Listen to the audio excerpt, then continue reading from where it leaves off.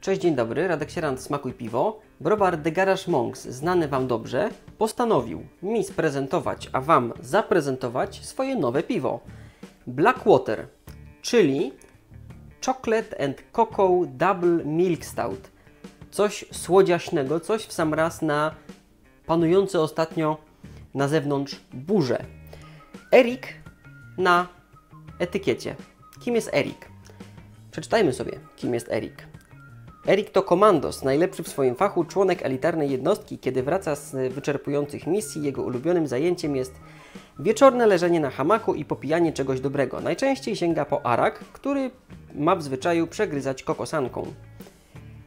Niedawno spotkaliśmy Erika i poczęstowaliśmy go naszym piwem, czarną wodą. Od tego czasu Erik rzucił zarówno arak, jak i robotę, teraz zajmuje się ważeniem piwa, w głównej mierze ciemnego. No to nie wiem, czy dobrze zrobiliście, yy, że tak powiem, odżegnując od yy, trudnych, ciężkich misji yy, wyszkolonego komandosa. Blackwater ma 19% ekstraktu i 6,2% alkoholu. Goryczka 1 na 6 w skali graficznej. Będzie słodko, będzie słodko. 19 ekstraktu, 6 alkoholu. Malutko jak na ten ekstrakt. Skład: woda, słody, pale ale, monachijski, pszeniczny, pszeniczny czekoladowy, jęczmień palony, abi, biskit, special B i płatki owsiane. Na bogato. Chmiele, marynka, East Kent Golding Fuggles, yy, dodatki laktoza, kokos i kakao. Drożdże WLP 002 English Ale Yeast. Naprawdę grubo, naprawdę grubo. Yy, cieszę się, że jest cały skład, cieszę się, że jest tak bogaty. Nie mogę się doczekać, jak będzie smakować to piwo. Podejrzewam, że będzie trochę tak słodziaśnie risowo. Otwieramy zatem i sprawdzamy, jak Blackwater z browaru The Garage Monks wygląda, jak pachnie i jak smakuje. Jest mega ciemne, jest gęste, choć trochę syczy ta, pia- y, syczy, syczy ta po przelaniu do szkła. Piana jest taka sobie. Mm. Kolor raczej nieprzejrzysty, chociaż przy nalewaniu był mm, taki rubinowo-brązowy. Syczy słychać jak ten. Jak syczy, prawdopodobnie jest to wina y, kokosa. Prawdopodobnie jest to wina kokosa. Wąchamy. Mm, Chleb razowy mm, czuje też taką orzechowość delikatną. Może gdzieś tam na drugim planie znajduje się y, taki, taki kokos, ale taki bardziej już y, spieczony na cieście kokos. Nutka mleczna też się delikatnie pojawia, ale to jest też taka nutka troszeczkę przypalonego mleka. Y, Nie takiego bardzo kipiącego, ale takiego wiecie, już y, troszkę przegrzanego mleka. No pachnie ciekawie, pachnie ciekawie. Nie spodziewałem się takiego aromatu. Jest też delikatnie czekolada, ale to jest taka utleniona czekolada. Pierwszy łyk, nie mogę się doczekać. W smaku jest inaczej, ciekawiej bym wręcz powiedział. Jest smacznie, jest smacznie, nie jest mega słodko, co mnie bardzo dziwi. Ciekaw jestem, ile laktozy tutaj poszło. Jeśli to jest 19 z laktozą, no to podejrzewam, że tak ze dwa plato na pewno tam poszło. Dużo laktozy w smaku. Mm, Sporo kokosa i sporo kakao yy, też w posmaku się pojawia. Jest tak czekoladowo, trochę gorzka czekolada, kakao delikatnie. Wiecie co? Mm, Kakao z mocno podgrzanego mleka. Tak mi się to kojarzy.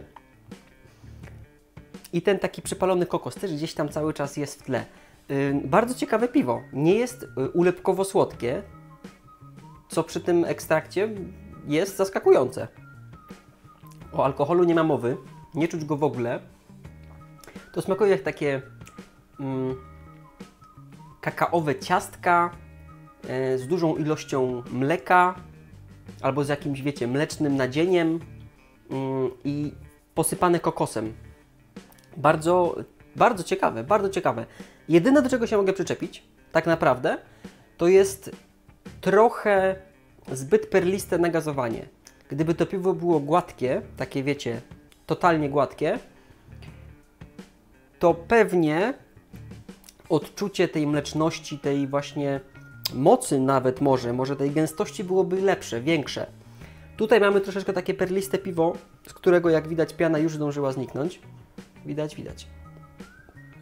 To jest mankament piw y, z kokosem, niestety. Kokos trzeba go naprawdę dobrze odtłuścić, żeby nie sprawił, że piana zniknie. Nie wiem, jak to, czy to jest w ogóle możliwe na skalę taką przemysłową, ale to też świadczy o browarze, że rzeczywiście użył kokosa, a nie jakiegoś aromatu, aromatu kokosowego, który yy, pozwoliłby utrzymać pianę. Yy, jest to pewien wyznacznik. Cieszę się, cieszę się, że jest tutaj mnóstwo dodatków, a żadnych aromatów i smakuje to piwo wyjątkowo, czyli jeszcze można zrobić coś ciekawego, zrobić coś wyjątkowego, nie używając tych y, sztucznych dodatków. I orzechowość, wyraźna orzechowość. Kokosowo-orzechowa posypka na. Yy, kokosowo-orzechowa posypka na kakaowym cieście z mlecznym nadzieniem. Ładny opis? Mam nadzieję, że ładny. Myślę, że dawno nie piliście tak ciekawego piwa. Nie czuć tej double milk stoutowości aż tak bardzo. Wolałbym żeby właśnie to odczucie było trochę bardziej pełne, sycące. Pewnie nagazowanie, tak jak powiedziałem, byłoby tutaj wskazane niższe, takie drobniejsze. Mm. I sprawiłoby, że to rzeczywiście byłby w odczuciu Double Milk Stout.